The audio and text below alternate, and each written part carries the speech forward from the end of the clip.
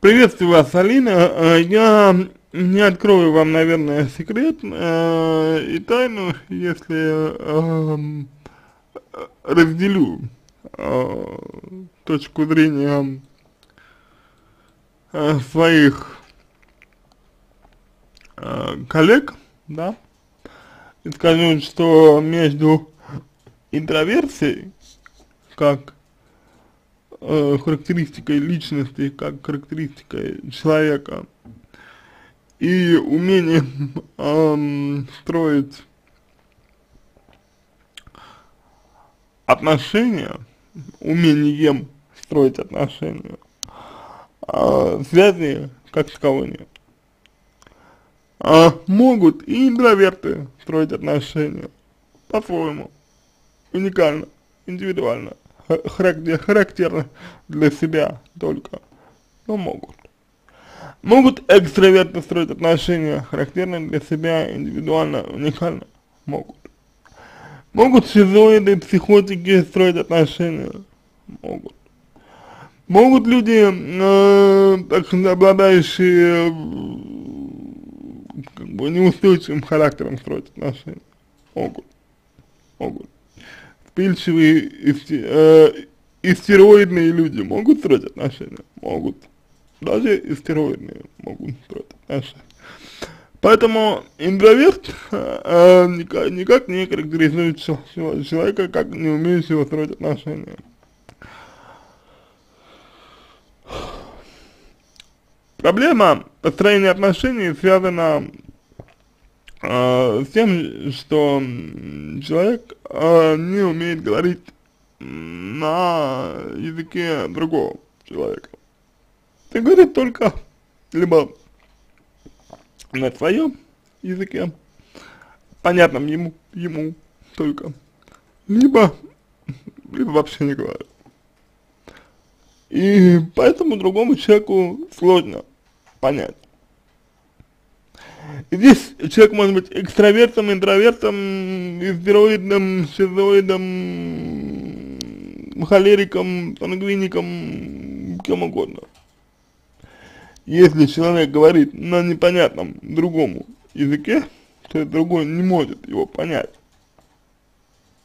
Отношения, отношения не, не, не, не построятся. Никак. Если между людьми ничего общего нет, вот ничего людей не объединяет, то отношений эти люди не построят. Если их ничего не связывает, отношения эти люди не построят. И неважно, экстраверт это, интроверт это, сангвиник ли это, холерик ли это, и так далее не смогут люди построить отношения.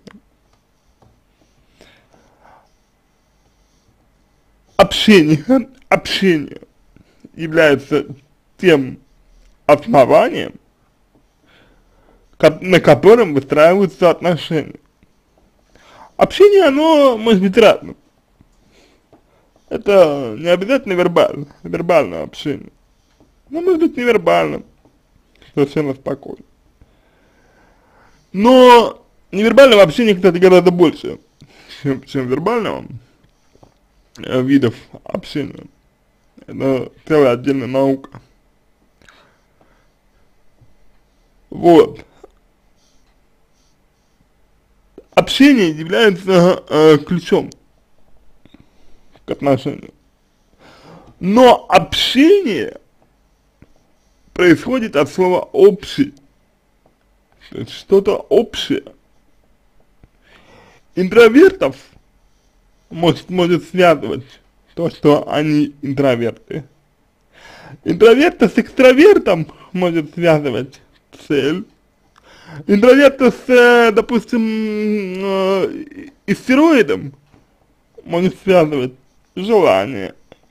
Интроверта с сангвиником может связывать там ценности какие-то, что-то еще и так далее. И если человек способен донести до другого, что у них это общее есть, то отношения сложатся. Если не способен, то отношений не будет. Другой вопрос, другой вопрос, а, заключается в том, вот, а, знаете как, часто остается один, говорите вы, ага, интроверт а, часто остается одинок, а, это еще одна корреляция, еще одна корреляция, которая требует своего внимания.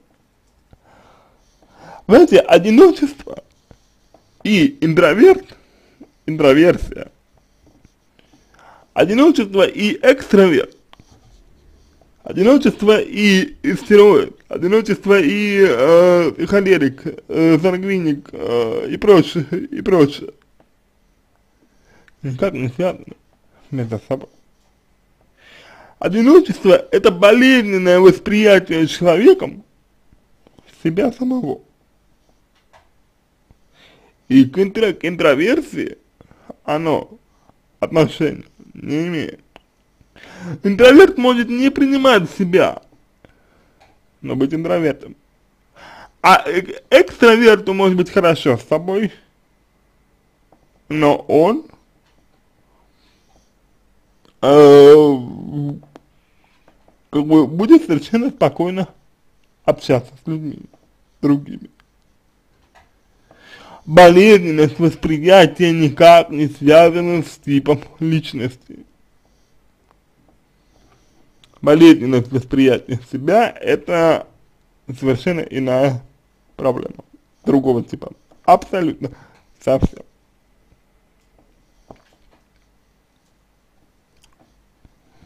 Вот примерно так можно ответить на вопрос. Знаете, э, вы с точки зрения психологии допустили две очень грубых ошибки. Логических. Это прямая логическая ошибка. В своем выражении. Я понимаю, что если бы вы э, были бы уверены в этом, если бы вы знали, вы бы не задали вопросы, и, собственно, э, собственно, именно потому что вы не знаете, я вам и отвечаю. Но момент здесь в другом. Как правило, такие ошибки, они вытекают из картины мира, целой картины мира, цельной картины мира восприятие себя, людей. Это что-то более глобальное, чем просто то, что вы сказали. И с точки зрения психологии работать нужно именно с тем, что стоит вот за вашей такой позицией.